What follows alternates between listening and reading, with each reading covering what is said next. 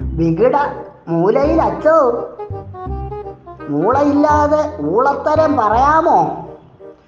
അച്ഛന്റെ ഒരു പ്രസംഗം ഞാൻ കേട്ടു. ഇങ്ങനെയും കുപ്പായം ഇട്ടുകൊണ്ട് ആഭാസത്തരം പറയാമോ അച്ഛ? ബഹുത്തച്ഛ. നിങ്ങൾ വികട യാക്കോബ വിവാഹം അല്ലേ സുപ്രീം കോടതിയിൽ കേസ് കൊടുത്തത്? നിങ്ങൾ വാദിയായിട്ടല്ലേ ഓർത്തഡോക്സ് സഭയ്ക്കെതിരെ കേസ് കൊടുത്തത്?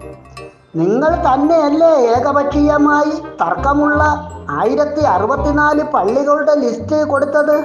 പോരാത്തതിന് നിങ്ങൾ തന്നെയല്ലേ വീണ്ടും ഒരു അറുന്നൂറ് പള്ളികൾ കൂടി അധികമായി ചേർത്ത് പള്ളികളുടെ ലിസ്റ്റ് ആയിരത്തി അറുന്നൂറ്റി അറുപത്തിനാലാക്കി നീട്ടിയത്? വിധി വരും എന്നറിഞ്ഞുകൊണ്ടല്ലേ നിങ്ങൾ കേസ് കൊടുത്തത്? അല്ലാതെ പഴംപൊരി തിന്നാൻ വേണ്ടി അല്ലല്ലോ. ആണോ? മുളയിലച്ചോ? അപ്പോ വർത്തമാനം പറയുമ്പോൾ ആലോചിച്ചു പറയണേ.